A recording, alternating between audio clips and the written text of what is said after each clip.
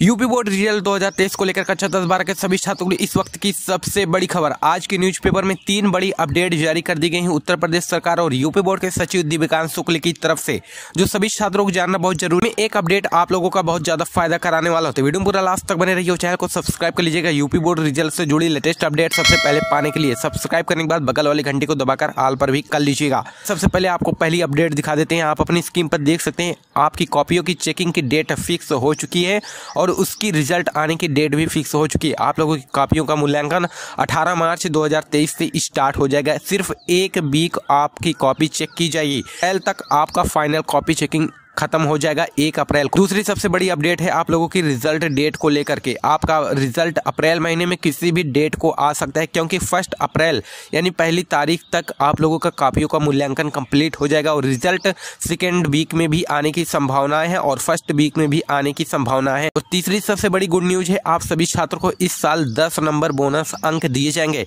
UP board के सचिव दिव्यकांत शुक्ल की तरफ़ से ऑफिशियल नोटिस इसकी जारी कर दी गई है। सभी छात्रों को बोनस अंक दिए दिए जाएँगे। चैनल को सब्सक्राइब करके वीडियो को ज़्यादा शेयर करिए।